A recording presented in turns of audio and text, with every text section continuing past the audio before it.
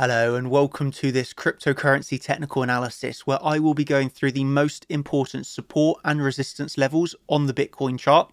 We're currently seeing a retrace on the Bitcoin chart, but I'm going to be explaining in this video why I am in a long position on Bitcoin right now. And I also want to be covering the massive selling pressure that we are seeing right now on the Bitcoin chart with hundreds and millions of shorts opening, but prices managing to hold up. So I'll be going over what that means and why I continue in a long position. So I hope that you really enjoy this video and let's get into the charts. Hope you enjoy. Thank you ever so much.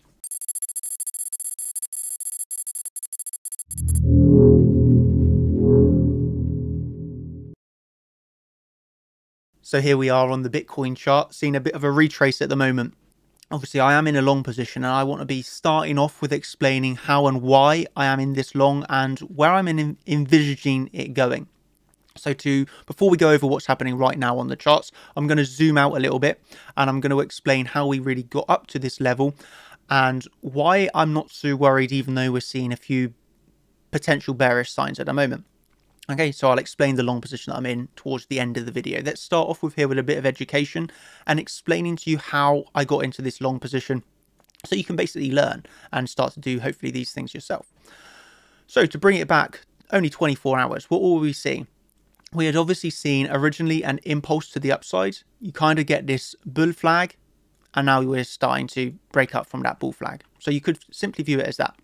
There's obviously a few different ways that you could view this and Personally, it all comes down to having a plan. So it's very, very, very important in trading to have a plan and then stick to your plan. So this is what I was viewing yesterday. So from yesterday morning around 9.20, I basically viewed this area of support, which is the NYPOC. And I was saying to myself, you know, I don't want to, I actually don't like to preset orders. So I was saying to myself, I'm going to have an alert here. And when the alert goes off, I'll wait for the reaction I'll go wait for that step of confirmation and then I'll be happily take a long position based off of that. So I was aware of that at 9 9:20. Well, two hours later, we just over two hours later, we come down and we hit that NYPOC. And for me, I liked the reaction, and then from there, you know, you can see here there was a few different things. obviously, Igor also putting out Legend himself right there. Uh, also, we're obviously hitting like the CC as you can see from other members' charts also hitting the, the CC there.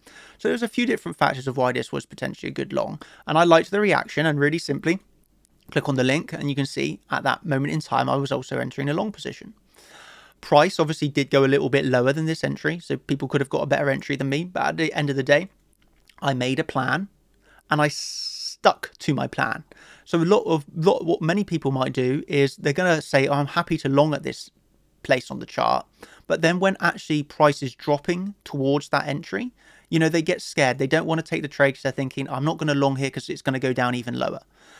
And then they end up missing out on the trade. And then they kick themselves thinking, why did I not stick to my plan? You know, that happens so often because people just get a bit, bit scared, a bit worried, and they, they don't stick to what their original plan was. So hopefully that wasn't you. Now, obviously, for myself anyway, if I make a plan and then I get the original step of confirmation. I'm going to stick to that plan, whatever happens. And this, so you can see a little bit more insights, was my exact plan. And that's what I was sharing to the group of I am happy to ladder into a long here down to the CCV target. So what we mean by that is obviously the CCV target is lower. And instead of shorting for this trade, or that setup, I was actually kind of reversing it and saying, I'm happy to ladder in a long position. So essentially the lower that we go, you know, the more I'm going to long, essentially. Um, and it's because I had a really nice idea of, you know, I had a nice setup. Ultimately, I'm expecting higher. The lower that we go, I feel the more fear there will be in the market, offers better opportunities. I don't know. I was just comfortable yesterday, laddering into a long position, keeping it all really simple in that regards. And, well, I, I think it worked out pretty nicely because, as you can see, we, we got another impulse to the upside. I only managed to fill one long order on my CCV setup.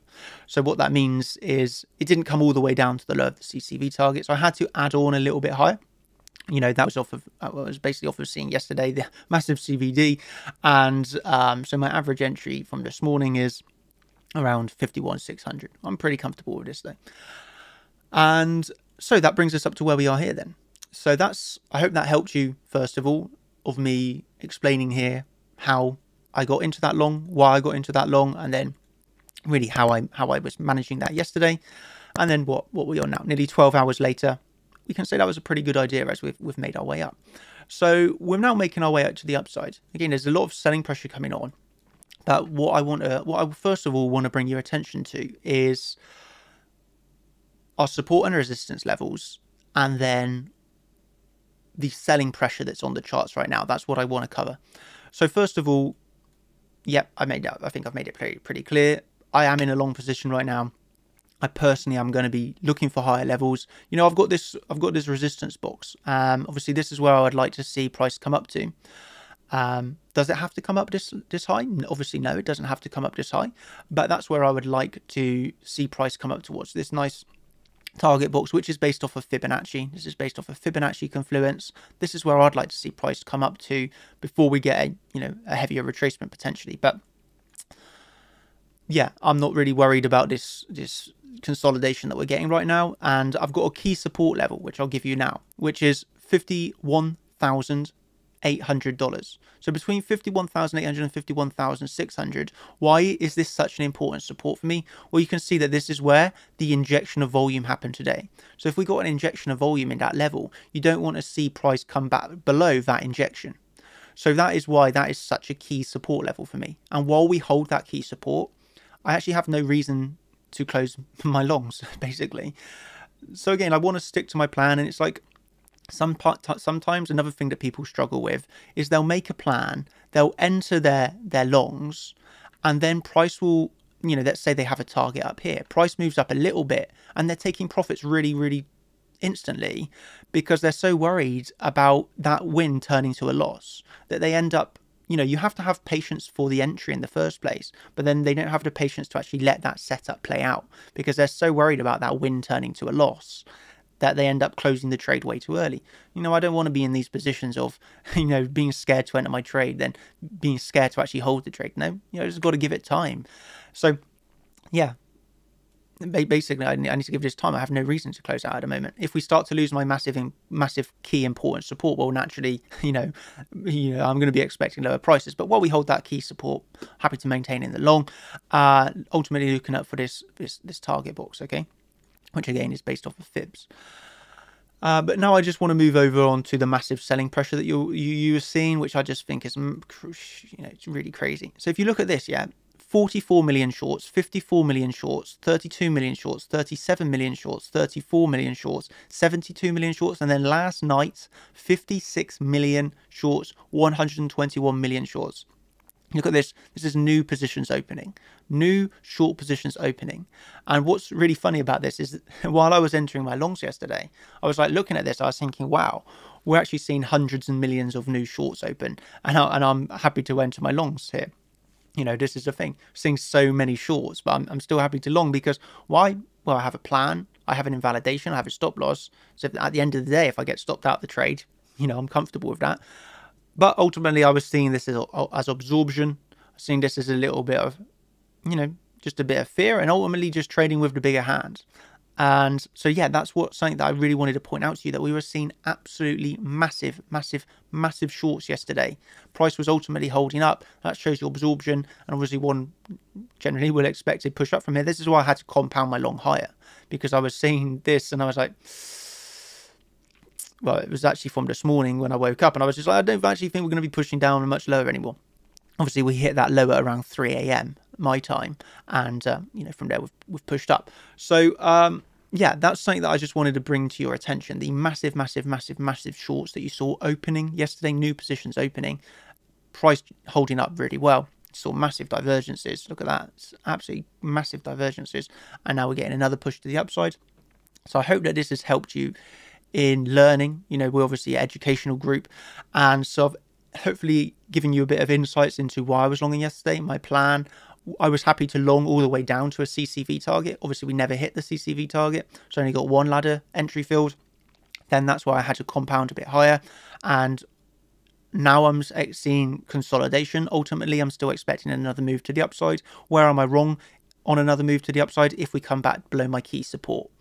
Okay, so you can see how I'm entering these markets with a plan. I'm sticking to my plan. I know where I'm right. I know where I'm wrong. I know where I want to take profits. I know where I want to trail my stop loss to. You know, at the end of the day, this trade is 100% guaranteed money, whatever happens now. So, you know, you get into those favorable positions by having a plan. Okay, so it's it's it's, it's nice. Um, so I think that's what I wanted to talk you through. Wanted to talk you through that. Wanted to talk you through how I got into that long yesterday by essentially following my plan. Also hitting around that CC. This is a nice comment from this guy. My first trade as a champion member. Really nice group here, and I really appreciate all the education. Uh, looking forward to keep learning, and if you need any help to improve your Spanish, estoy a tu disposición. Gracias, amigo. Um, but yeah, I, I, mean, this is this is obviously great. Um, but yeah, that that's what I wanted to bring your attention to today. Oh yeah, this is something that I was. This is this is what this is really funny. It was like my face when I see that 100 million shorts went into my long trade.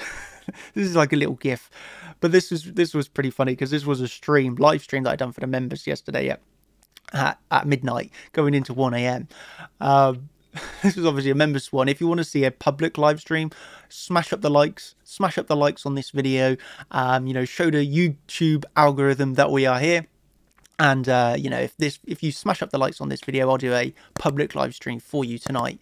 Uh, so if you want, if you want that, us to go live, talk you through those sort of massive short positions, uh, you know, as as and when they're actually happening, then smash up the likes on the video, and I'll do a live stream for you tonight.